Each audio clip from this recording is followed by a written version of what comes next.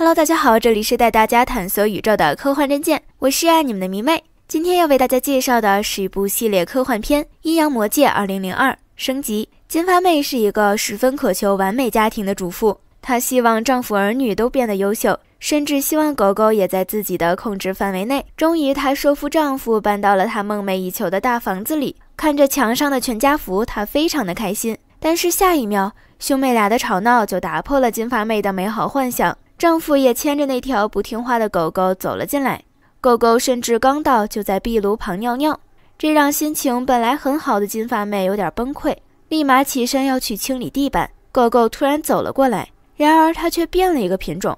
金发妹以为丈夫又买了一条新狗，丈夫却说这就是他们一直以来养的那只。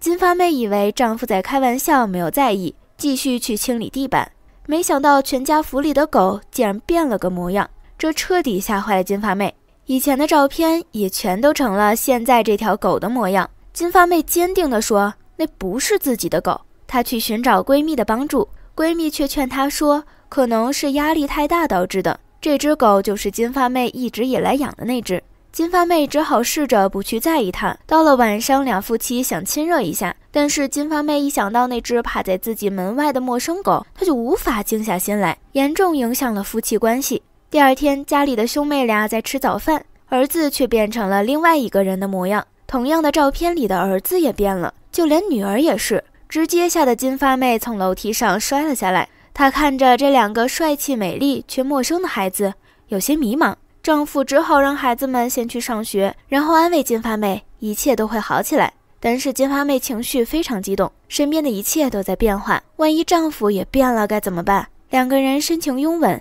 但下一秒，丈夫就变成了另外一个人，金发妹彻底崩溃了，陷入绝望的她一个人躲在房间里，不愿意出来，直到闺蜜找上门来。但是闺蜜也觉得是金发妹自己的问题，在闺蜜的鼓励下，金发妹下楼发掘真相。但无论怎么做，家里的一切都在产生别人察觉不到的变化。